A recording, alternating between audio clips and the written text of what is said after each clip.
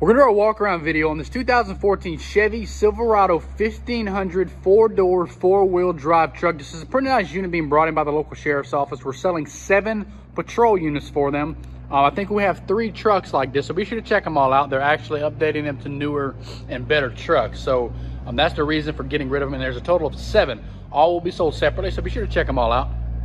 Starting off here at the front, it does have the big, nice Westin grill guard with the winch plate, so you can add a winch in there if you want. Has a nice 5.3 gas V8 engine, automatic transmission, and the body itself has a couple small dings or dents, but for the most part, it's in pretty good shape. Let's have these nice chrome rims with the Bridgestone tires, that nice bed cover on the back.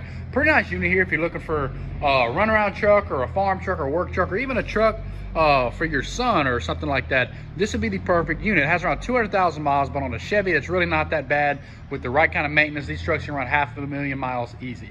When at auction time at Brickhouse Auctions, will it be bought? Thank you.